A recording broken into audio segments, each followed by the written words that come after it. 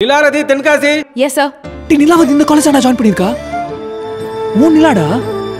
பிடிச்சு லவ் பண்ணுடா. கையை பிடிச்சாதான் லவ் வரும்னு ஒன்றும் கிடையாது. சார் இந்தியா கூட்டணி பிளவுபட்டிருக்கு நிதிஷ்குமார் மறுபடியும் பிஜேபியோடு கை கோர்த்து இன்னும் சில நாட்கள்ல மறுபடியும் முதலமைச்சர் ஆக போறாரு. எம்பி எலெக்ஷனையும் நிதிஷ்குமார் பிஜேபியோடு இணைந்து சந்திக்க இருக்கிறார். இந்த கூட்டணிக்கு பேர் வைக்கிறதுக்கு முன்னாடியே நம்ம தெளிவா சொல்லிட்டோம். ஆரோடம் சொல்லியாச்சு. இந்த கூட்டணி கரை சேராது. இது வந்து ஓட்ட படகு இது என்னைக்குமே கரை சேராது அப்படின்னு. நம்ம ஆரம்பத்திலே சொன்னோம் மம்தா அவர்கள் வந்து கடைசி நிமிஷத்துல எதையாவது ஒரு காரணம் சொல்லி இந்த கூட்டணி விட்டு விலகுவாங்க. நிச்சயமா ஒருபோதும் வெஸ்ட் பெங்கால்ல காங்கிரஸ் வளர்றத அவர்கள் ஏற்றுக்கவே மாட்டாங்க. ஜம்மு காஷ்மீரை ரெண்டா போலந்து யூனியன் டெரிட்டரியா ஆக்குனதுக்கு முக்கியமான காரணமே கெஜ்ரிவால் தான். ஆனா அவரோட மாநில அதிகாரத்தை பறிக்கிறாங்கன்னதுமே ஊர் போய் எல்லாத்துக்கிட்டையும் ஆதரவு கேட்டார். காங்கிரஸ் என்ன பண்ணுதுன்னா நீ அரிசி எடுத்துட்டு வா நான் உண்மை எடுத்து வரேன். ரெண்டு பேரும் சேர்த்து ஊதி ஊதி சமைச்சு சாப்பிடுவோம் இது எல்லாரும் சரி சரின்னு மண்டை வந்துட்டு இருந்தாங்க இத்தனை நாளா. இப்ப எல்லாரும் விவரம் ஆயிட்டாங்க ஈடிக்கும் மோடிக்கும் எதிராக நாங்க கூடுறோம். ஏன்னா எங்களுக்கு பிரச்சனை. அதாவது ரைடு விடுறாரு. ஊழல் பண்ணா கண்டுபிடிக்கிறாரு அப்படின்னு தான் மக்கள்கிட்ட போய் அழுகுறாங்க. அப்ப மக்கள் பாக்குறாங்க. அந்த மனுஷன் நல்லது தானே செய்யறாரு அப்ப அவருக்கே ஓட்டு போடுவோம்னு மக்கள் எல்லாமே மோடி அவருக்கு பின்னாடி போறாங்கன்றத பாக்குறோம். நிதர்சனவாதி நிதிஷ்குமார்னு ஏன் சொன்னா இப்போ பிரதமர் கேண்டிடேட்டா மோடிக்கு தான் சப்போர்ட் பண்ணுவார்னு எந்தவித நிதர்சனமும் இல்லையே. அவர் மாறலாம்ல. நீங்க தானே சொன்னீங்க. காங்கிரஸ் வந்து வட இந்தியால இருந்து பல காலங்களா துரத்தி அடிக்கப்பட்டது. இன்னைக்கு வந்து முழுமையா வந்து ராஜஸ்தான் சத்தீஸ்கர்லயும் தோல்வி அடைஞ்சு இன்னைக்கு வட இந்தியால இருந்து சுருங்கி இன்னைக்கு தென்னிந்திய கட்சியா மாறிக்கிட்டு இருக்குது. விரைவில் தென்னிந்தியால இருந்து மொத்தமா அகற்றப்படும் அப்படின்னு நினைக்கிறேன். அண்ணாமலையோட குருநாதர் பி. எல். சந்தோஷ் அவரோட பொறுப்பு முழுக்குமே பறிக்கப்பட்டிருக்கு ஹலோ ஃப்ரெண்ட்ஸ் வணக்கம். வெல்கம் நான் மோகன்ராஜ். இது உங்களின் கோல்டன் சான்ஸ் அரசியல் களம். அதுவும் அனுதினம் இந்தியாவோட அரசியல் விமர்சகர் மட்டும் இல்ல பல நாடுகளுக்கோட அரசியலை விமர்சனம் பண்ணக்கூடிய நம்ம ரஞ்சித் குமார் சார் லைன்ல இருக்காரு. இலங்கையிலிருந்து நம்மோடு இணைகிறார். வணக்கம் சார். வணக்கம் வணக்கம் ஜே.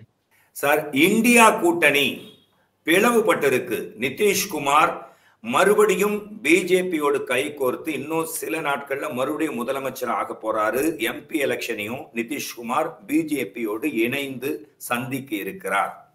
நிதர்சனவாதி நிதிஷ்குமார் பிஜேபியோடு என்ன பிளான் சார் பண்ணாங்க அவர்? இழுக்கிறதுக்காக அதாவது பாஜக எதுவுமே செய்ய தேவையில்லைங்க. தானாவே நடக்கும். என்னன்னா இதை நம்ம வந்து ஆரம்பத்துல இருந்தே சொல்லிட்டு இருந்தோம். இன்னொன்னு இந்த ஐஎன்டின்னு ஒன்று பேர் வச்சாங்க இந்த கூட்டணிக்கு. இந்த கூட்டணிக்கு பேர் வைக்கிறதுக்கு முன்னாடியே நம்ம தெளிவா சொல்லிட்டோம். ஆரோடம் சொல்லியாச்சு இந்த கூட்டணி கரை சேராது.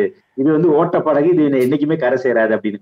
ஒரு குழந்தை பொற ஒரு குழந்தைக்கு பேர் வைக்கிறதுக்கு முன்னாடியே அதோட ஜாதகத்தை பார்த்து இது உருப்படுமா உருப்படாதான்னு சொல்ற மாதிரி இந்த கூட்டணியை பார்க்கும் பொழுதே நம்ம சொல்லிடலாம். இந்த கூட்டணியே பொருந்தா கூட்டணி. நம்ம ஆரம்பத்திலே சொன்னோம் மம்தா அவர்கள் வந்து கடைசி நிமிஷத்துல எதையாவது ஒரு காரணம் சொல்லி இந்த கூட்டணி விட்டு விலகுவாங்க. நிச்சயமா ஒருபோதும் வெஸ்ட் பெங்கால்ல காங்கிரஸ் வளர்றத அவர்கள் ஏத்துக்கவே மாட்டாங்க.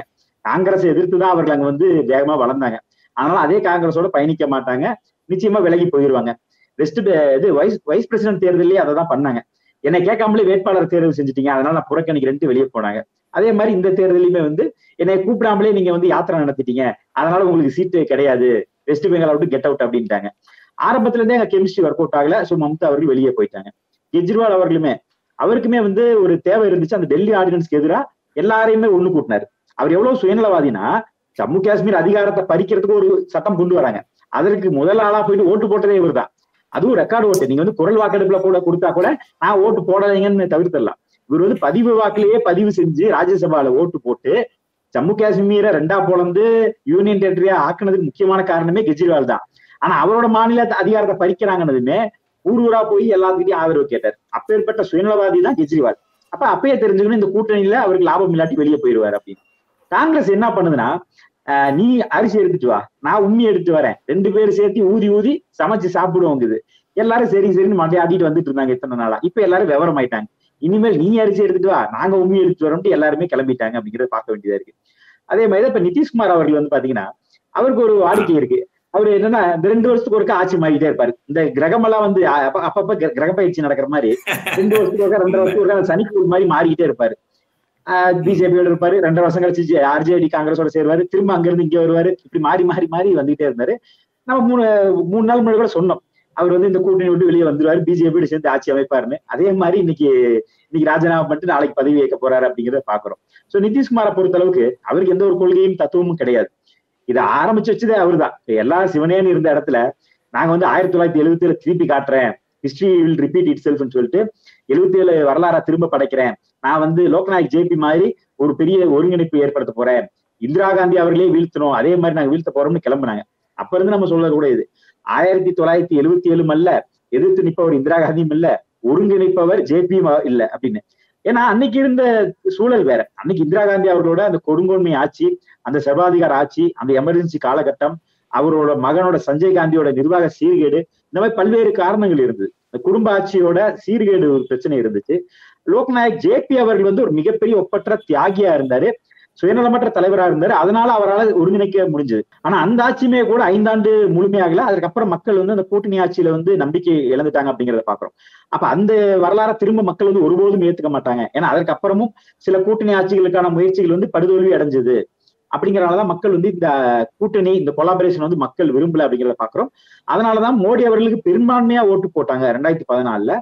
அதையும் தாண்டி ரெண்டாயிரத்தி பத்தொன்பதுல இன்னும் கூடுதலா பல்வேறு விமர்சனங்களுக்கு அப்புறம் ரெண்டாயிரம் ரூபாய் நோட்டு கொண்டு வந்து இந்த ஐநூறு ஆயிரத்தை பேன் பண்ணதுக்கு அப்புறம் ஜிஎஸ்டி கொண்டு வந்ததுக்கு அப்புறம் இந்த மாதிரி பல்வேறு விஷயங்கள் நடந்ததுக்கு அப்புறமும் கூட இன்னும் அதிகமான சீட்டை கொடுத்தாங்கன்னா ஏன்னா இவர் வந்து ஒரு சரியான தலைவர் ஒரு ஆளுமை மிக்க தலைவர் ஒரு போல்டான டெசிஷன் எடுக்கக்கூடிய தலைவர்னு அவருக்கு கொடுத்தாங்க. அதை நம்ம பாக்குறோம் நம்ம ரஃபேல் ஊழல் குற்றச்சாட்டுகளும் சொல்லப்பட்டாலுமே கூட மக்கள் அவர் மேல நம்பிக்கை வச்சு ஏகோபித்த ஆதரவு கொடுத்துட்டே வந்தாங்க. சோ அதனாலதான் இன்னைக்கு ஒரு வலிமையான தலைவரா நின்னுட்டாரு. அவர் வீழ்த்துறதுக்கு சரியான தலைவரோ சரியான தத்துவமோ ஒரு சித்தாந்தமோ இல்ல மக்கள் நலன் சார்ந்த ஒரு கொள்கையோ எதுவுமே கிடையாது இவர்கள்ட்ட. எதுக்குப்பா நீங்களா ஒண்ணு கூடி இருக்கீங்கன்னு மக்கள் கேட்கும் பொழுது இவர்களுக்கு சொல்ல தெரியல. அதாவது பெட்ரோல் விலையை குறைக்க போறோமா இல்ல ஏதாவது மக்களுக்கு இலவசங்க மக்களுக்கு நலத்திட்டங்கள் கொடுக்க போறோம்னா அவர்கள் மாநிலத்துல செய்யல. திமுக ஆட்சி எடுத்துட்டோம்னா உத்தரப்பிரதேசத்தோட இங்க பெட்ரோல் விலை அதிகம். பீகார்ல பெட்ரோல் விலை அதிகம். அப்ப இந்த கூட்டணி ஐஎன்டி ஆட்சி செய்யக்கூடிய எல்லா மாநிலத்திலுமே பெட்ரோல் டீசல் விலை அதிகம். பால் விலை பக்கத்துல இருக்க கர்நாடகாவோட நம்ம கிட்ட அதிகம். அப்ப இவர்கள் அதை செய்ய போறாங்களா மக்கள் நம்ப போல. ஈடிக்கும் மோடிக்கும் எதிராக நாங்க கூடுறோம். ஏன்னா எங்களுக்கு பிரச்சனை. அதாவது ரைடு விடுறாரு. ஊழல் பண்ணா கண்டுபிடிக்கிறாரு அப்படின்னு தான் மக்கள்கிட்ட போய் அழுகுறாங்க. அப்ப மக்கள் பாக்குறாங்க. அந்த மனுஷன் நல்லது தானே செய்யறாரு அப்ப அவருக்கே ஓட்டு போடுவோம்னு மக்கள் எல்லாமே மோடி அவருக்கு பின்னாடி போறாங்கன்றத பாக்குறோம். சோ இதுதான். இந்த ஐஎன்டி கூட்டணிங்கிறதே வந்து அஹ், இல்லாத ஒன்றை இருக்கிற மாதிரி ஒரு பிம்பத்தை உருவாக்குறாங்க. அது வந்து இன்னைக்கு மக்கள்கிட்ட எடுபடாம இன்னைக்கு ஒவ்வொன்றா அவர்களுக்கு விலகி போய் அவர்கள் மாநிலத்துல தங்களோட தற்காப்புக்காக தங்களோட மாநிலத்துல போய் ஒதுங்கிட்டாங்க. தஞ்சம் அடைஞ்சிட்டாங்க அப்படின்னு தான் பார்க்க வேண்டியதா இருக்கு. சார் அதனால தான் முன்னாடியே நான் சொன்னேன் நிதர்சனவாதி நிதிஷ்குமார். நீங்க அந்த முதல் கேள்வி கிட்டத்தட்ட எல்லா எபிசோடும் நான் கேட்க வேண்டிய கேள்விக்கு பதில் சொல்லிட்டீங்க. மம்தா பானர்ஜியை பற்றி சொன்னீங்க அவங்களும் பிரிஞ்சுட்டாங்க தனித்து போட்டி அனௌன்ஸ்மெண்ட்லாம் பண்ணிச்சா பண்ணிட்டாங்க. ரெண்டே ரெண்டு சீட் தான் நாங்கள் காங்கிரஸ்க்கு கொடுப்போம். முடியாதுன்னு உடனே தனித்து பிரிஞ்சுட்டாங்க. அதே மாதிரி தான் ஆம் ஆத்மி தனித்து போட்டியிட போறதா சொல்லியிருக்காங்க. ஆனாலும் மமதா பானர்ஜி என்ன சொல்றாங்க? இந்தியா கூட்டணியை விட்டு விலகல. நான் தனித்து மேற்கு வங்கத்துல தனித்து போட்டி. அந்த மாதிரி தான் சொல்லியிருக்காங்க. அதே மாதிரி தான் நிதர்சனவாதி நிதிஷ்குமார் ஏன் சொன்னா இப்போ அவரு பிஜேபியோட சேர்றாரு சிஎம் ஆயிடுவார் ரெண்டு நாள்ல. ஓகே. மறுபடியும் எம்பி எலெக்ஷன்ல பிஜேபியோட சேர்ந்து போட்டிட்டு ஜெயிச்சிட்ட அப்புறம் அவர் பிஜேபிக்கு தான் சப்போர்ட் பண்ணுவாரு. பிரதமர் கேண்டிடேட்டா மோடிக்கு தான் சப்போர்ட் பண்ணுவாருன்னு எந்தவித நிதர்சனமும் இல்லையே. அவர் மாறலாம் இல்ல நீங்க தானே சொன்னீங்க. நிச்சயமா. அவர் மாறக்கூடிய நபர் தான். அவரோட இப்ப ஏன்னா அவரோட தன்னோட அவர் வந்து பாத்தீங்கன்னா இப்ப கடந்த ரெண்டாயிரத்தி பதினஞ்சுல இருந்தே வந்து ஒரு சரியான நிலைப்பாடுல இல்ல. ஒரு ஸ்ட்ராங்கான நம்பிக்கையில இல்ல. ஆனா பாஜகவோட சேரும் பொழுது அவரோட நிலைப்பாடு இருக்கு சார். அவரோட நிலைப்பாடு கொள்கை கோட்பாடு என்னன்னா பீகாரை பொறுத்த வரைக்கும் நான் முதலமைச்சர் ஆகணும். அதற்காக எந்த கட்சியுடனும் கூட்டணி வைப்பேன். அது நல்ல கொள்கை தான் அவரோட கொள்கை. சார். நிச்சயமா அவரோட சுயநலம் தான் அவர் முழுக்க முழுக்க வந்து எதனால பிஜேபி விட்டு வெளியே வந்தாருன்னு கேட்டோம்னா அதாவது இப்ப அக்காலித்தலம் போனது கூட சில அந்த ஃபார்முலாஸ் எல்லாம் காரணம் காட்டிட்டு போனாங்க. அதை கூட நம்ம தார்மீகமா ஏத்துக்கலாம். அது ஒரு நியாயமான கருத்துன்னு சொல்லலாம். ஆனா இவர் நிதிஷ்குமார் போனதுக்கு காரணம் என்னன்னா இவருக்கு பிரதமர் நாற்காலியை கொடுக்கலன்னு. அவரால் தனியாவே ஆட்சி அமைக்க முடியாது. ஒண்ணு பிஜேபி வேணும் இல்லைன்னா ஆர்ஜேடி வேணும். ஏதோ ஒரு கட்சி கூட்டணியில் இருந்தாதான் இவரால் ஆட்சியை அமைக்க முடியும். இன்னும் சொல்ல போனா பாஜக அதிகமான சீட் எடுத்தும் கூட சுஷில்குமார் மோடி அவர்கள் விட்டு கொடுத்தனாலதான் நிதிஷ்குமார் அவர்கள் வந்து அதிகாரத்துக்கே வந்தாரு. ஆனாலுமே அவருக்கு பெரிய பேராசை. பிரதமர் ஆகணும் அப்படிங்கிற ஒரு பேராசையில அவர் அடிக்கடி அந்த தேர்தல்ல விலகி விலகி போறாரு அப்படிங்கிறத பார்த்தோம். நிச்சயமா இப்ப மீண்டும் வந்து இப்ப இங்க வந்தாலுமே கூட எம்பிக்களை பெற்றுட்டு திரும்ப போறதுக்கான வாய்ப்புகள் இருக்கு. ஆனா பாஜகவை பொறுத்த அளவுக்கு யார் வந்தாலுமே சேர்த்திப்பாங்க. அதுல வந்து என்னைக்குமே யாரையுமே வந்து தீண்டத்தகாதவர்களா நினைச்சு ஒதுக்கி வைக்கிறதே கிடையாது. ஏன்னா மனிதர்கள் வந்து தவறு செஞ்சு திரும்ப சரி அஹ் நல்லது செய்யக்கூடிய மனோபக்குவத்தோடய மக்களுக்கு ஏதாவது செய்யணும்ன்ற நல்லா சொல்லி வந்தா யாரா இருந்தாலும் ஏத்துக்குவாங்க. காங்கிரஸே வந்தாலும் சரி காங்கிரஸ்ல இருந்து வரக்கூடிய எம்எல்ஏக்களை ஏன் ஏத்துக்கிறாங்கன்னா வந்துட்டு இங்கேயாவது நல்லது செய்யுங்க அப்படிங்கிற ஒரு எண்ணத்துலதான் காங்கிரஸோட எம்எல்ஏக்கள் எம்பிகளை சேர்த்துக்கிறாங்க அப்படிங்கிறத பாக்குறோம். அதே நேரத்துல இப்ப நீங்க இந்த கூட்டணியில இவர்கள் வந்து என்ன பிரச்சனைனா இவர்களால ஒரு- ஒருங்கிணைஞ்சு போக முடியல. இன்னைக்கு யூபியில பார்த்தோம்னா பதினோரு சீட்டு ஒதுக்குறோம் அப்படின்னு சொல்லி சொல்லியிருக்கிறாரு அகிலேஷ் அவர்கள். ஆனா இவர்களே காங்கிரஸ் ஏதாவது வாயை கொடுத்து வம்ப எழுத்துருவாங்க ஏன்னா இடையில பார்த்தோம் மத்திய பிரதேச தேர்தலில் கமல்நாத் அவர்கள் வந்து அகிலேஷாது வக்கீலேஷாதுன்னு போயிட்டாரு. அந்த ஊர் துறைமுருகன் அவரு. அப்படி பேசி அவர்கிட்ட வம்பு இழுத்து சீண்டி விட்டாரு. அப்புறம் அவரை தூக்கி பதவியில இருந்து அப்புறம் தான் இன்னைக்கு அகிலேஷ் வந்து கொஞ்சம் பேச்சுவார்த்தைக்கு வந்திருக்கிறாரு. ஒரு பதினோரு சீட்டு சொல்லியிருக்கிறாரு. அது அப்புறம் பேச்சுவார்த்தை என்ன ஆக போகுது? அங்க இருக்கக்கூடிய தலைவர்கள் வந்து அடுத்த எப்படி நடக்க போறாங்க? அதை பொறுத்து தான் வந்து அந்த கூட்டணியும். இப்ப அகிலேஷுக்குமே வந்து அங்க பெரிய அளவுக்கு ஒரு பர்ஃபார்ம் பண்ணக்கூடிய சூழல் இல்ல. அவருக்குமே ஒரு கைத்தடி தேவை. அதனால காங்கிரஸ் வந்து துணைக்கி வச்சுக்க பாக்குறாரு அப்படிங்கிறத பாக்குறோம். பலவீனமா இருக்கக்கூடிய ஒரு பத்து சீட்டை கொடுத்து காங்கிரஸ காலி பண்ணி விட்டுருவாரு அப்படின்னு தான் நம்ம எதிர்பார்க்கிறோம். ஏன்னா அகிலேஷ் யாதவும் மாயாவதி அவர்களும் ஒருங்கிணைஞ்சு சப்போர்ட் பண்ணியுமே ராகுல் காந்தியால அமை அமைதி தொகுதியில தோக்க அமைதி தொகுதியில ஜெயிக்க முடியாம படுதோல்வி அடைஞ்சு தென்னிந்தியாவில தஞ்சம் புகுந்தார் அப்படிங்கறத பாக்குறோம்.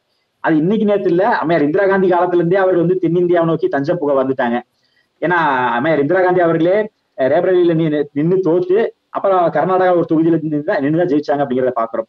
அந்த மாதிரி இருக்கும் பொழுது இவர்கள் வந்து இப்ப காங்கிரஸ் காங்கிரஸ் வந்து வட இந்தியால இருந்து பல காலங்களா துரத்தி அடிக்கப்பட்டது. இன்னைக்கு வந்து முழுமையா வந்து ராஜஸ்தான் சத்தீஸ்கர்லயும் தோல்வி அடைஞ்சு இன்னைக்கு வட இந்தியால இருந்து சுருங்கி இன்னைக்கு தென்னிந்திய கட்சியா மாறிக்கிட்டு இருக்குது.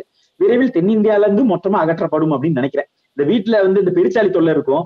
அது எங்கேயாவது துரத்துறோம்னா ஒரு இடத்துல இருந்து இன்னொரு இடத்துக்கு போயிடும் ஒரு ரூம்ல இருந்து பக்கத்து ரூம் போயிடும் அந்த மாதிரி எங்கேயாவது ஒரு இடத்துல போயிட்டு சத்தீஸ்கர்ல இருந்து துரத்துனா பக்கத்துல தெலங்கானா வந்து தஞ்சம் புகுந்து இருக்குது.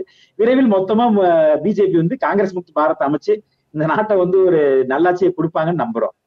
மற்ற கூட்டணியில மற்ற கட்சியில பிளவு இருக்கு சண்டை இருக்குன்றீங்க. பிஜேபி தமிழக பிஜேபி அதாவது அண்ணாமலையோட குருநாதர் பி எல் சந்தோஷ் அவரோட பொறுப்பு முழுக்குமே பறிக்கப்பட்டிருக்கு. ஒரு அதிர்ச்சியா இருக்கு பிஜேபி வட்டாரமே. அண்ட் அது மட்டும் இல்ல அரவிந்த் மேனன் அண்ட் சுதாகர் ரெட்டி இவங்களுக்கு இந்த பொறுப்பு தமிழ்நாட்டு பிஜேபியோட முக்கியமான பொறுப்பு கொடுக்கப்பட்டிருக்கு. இந்த ரெண்டு பேருமே பி எல் சந்தோஷுக்கு ஆப்போசிட் இப்ப என்ன சொல்றீங்க?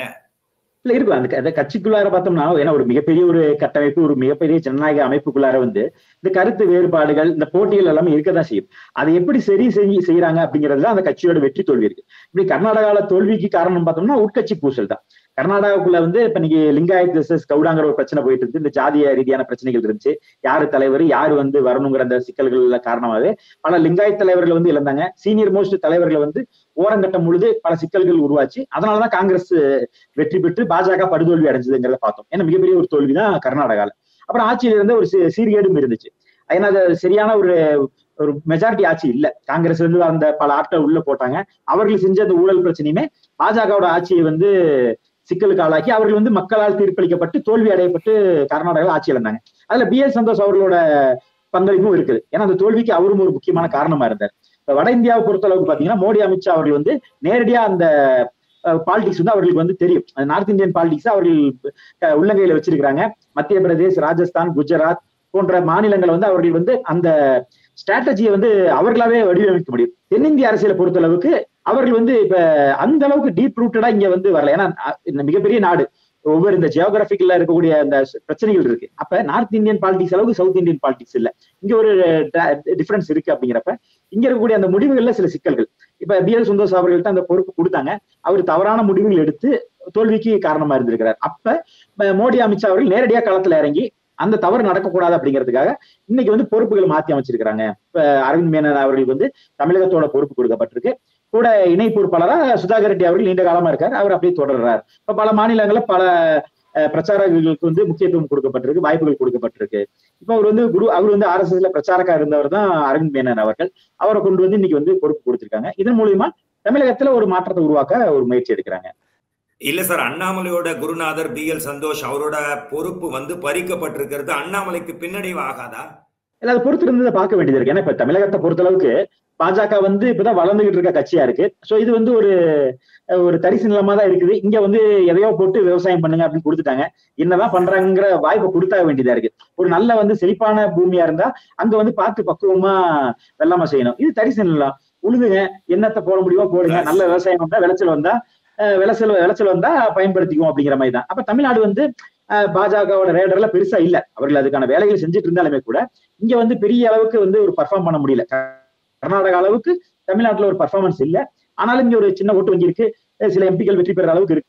கூட்டணி இல்லாமலே கூட ரெண்டாயிரத்தி பதினாலுல ரெண்டு சீட் எடுத்தாங்க அப்படிங்கிறத பாக்குறோம். ஒண்ணு வந்து பாஜகவும் இன்னொன்னு அவர்கள் கூட்டணி கொடுத்த பாமகவும் வெற்றி பெற்றாங்க அப்படிங்கிறத பாக்குறோம். சோ இந்த மாதிரி சூழல் இருக்கும் பொழுது அண்ணாமலை அவர்களுக்கு ஒரு வாய்ப்பு கொடுத்திருக்காங்க அவரும் ஒரு பர்ஃபார்மன்ஸ் செஞ்சுட்டு இருக்காரு சோ அவரோட செயல்பாடு எப்படி இருக்குங்கிறது நிச்சயமா தேர்தல் முடிவுல தான் தெரியும். ஏன்னா ஒரு எக்ஸாம் எழுதி முடிச்சதுக்கு அப்புறம் தான் மார்க் போட்டாதான் அந்த மாணவன் பாஸா ஃபெயிலான்னு தெரியும். அதனால பாதியிலேயே வந்து ரிசல்ட்டை சொல்ல முடியாது. பாதியிலேயே அண்ணாமலை அவர்களோட பதவி பறிக்கிறதுக்கான வாய்ப்புகள் குறைவா தான் இருக்கு அப்படின்னு நம்ம எதிர்பார்க்கிறோம். ஒருவேளை ஏடிஎம்கே கூட்டணி தேவை ஏடிஎம்கேவை தக்க வைக்கிறதுக்காக அண்ணாமலை அவர்களுக்கு ஏதாவது ஒரு பதவி உயர்வு கொடுத்து வேற யாராவது தலைவரா போட்டு இங்க ஏடிஎம்கேவை பேச்சப் பண்றதுக்கான ஒரு முயற்சியை ஈடுபடலாம். ஏன்னா அரசியல்ல வந்து அஹ், வெற்றி தான் முக்கியம் படிக்க அப்படிங்கிறப்ப சில ஸ்ட்ராட்டஜிகள் இப்ப நிதிஷ்குமார் அவர்களுமே தான் ஆகாம இருந்தாரு. நேத்து வரைக்கும் அவர் சேர்த்திக்க மாட்டோம்னு மாநில கட்சி மாநில கமிட்டி சொன்னாங்க. பாஜகவோட ஸ்டேட் டீம் வந்து நிதிஷ்குமார் மீண்டும் வந்தா சேர்த்திக்க மாட்டோம்னு சொன்னாங்க. ஆனா ஹைகமாண்ட் வந்து அவரை சேர்த்திக்கணும். ஏன்னா இன்னைக்கு வெற்றி தேவை. நிதிஷ்குமார் இருந்தா இன்னும் கூடுதல் லாபம் அப்படிங்கிறப்ப ஏன்னா அரசியலை பொறுத்தளவு வெற்றி தான் முக்கியம். வெற்றி பெற்றதுக்கு அப்புறம் தான் மக்கள் நலன் சார்ந்த விஷயங்கள் செய்ய முடியும். அந்த மாதிரி இருக்கும் பொழுது இப்ப நிதிஷ்குமாரே சேர்த்துக்கிட்டாங்க. சோ நாளைக்கு தமிழகத்துல மீண்டும் ஒருவேளை அதிமுகவை சேர்த்துறதுக்கு அண்ணாமலை அவர்கள் கொடுக்க இடையூறா இருந்தா அவருக்கு பதவி உயர்வு கொடுத்துப்பட்டு அவர் வேற இடத்துக்கு அனுப்பப்பட்டு இங்க வந்து கூட்டணி பேச்சப்பும் நடக்கலாம். சோ எதுவும் சாத்தியம் அரசியல் அப்படிங்கிறப்ப பொறுத்திருந்து பார்ப்போம்.